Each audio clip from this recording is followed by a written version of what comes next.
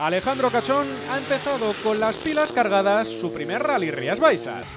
El piloto de Toyota ha liderado el shakedown y se ha notado después su segunda quali de la temporada, la primera sobre asfalto, con el GR Yaris Rally 2.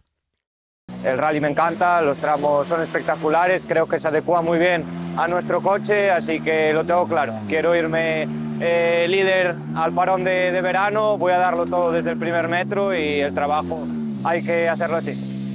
Diego Ruilova se ha posicionado segundo a tan solo dos décimas de Cachón. Cohete Suárez, que ha sufrido un pinchazo en el shakedown, ha completado la quali como tercer clasificado a poco más de un segundo del mejor tiempo, seguido de cerca por su compañero Javier Pardo.